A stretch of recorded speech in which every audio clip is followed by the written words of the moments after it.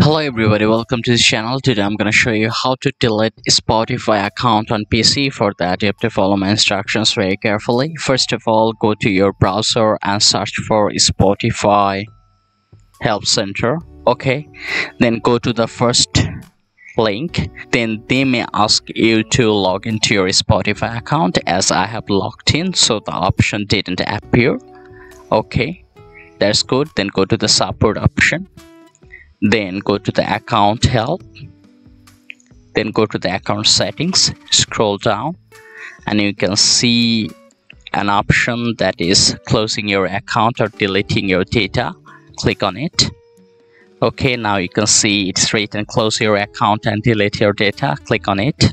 And from here you have to follow the five steps then you have to click the close account and by following the five steps you can easily close the account. As i don't want to close my account i will not go through those steps but these steps are really easy. You can easily do it. And that's how easily you can delete your spotify account on the pc so if this tutorial helped you like this video and don't forget to subscribe to my channel. See you in the next one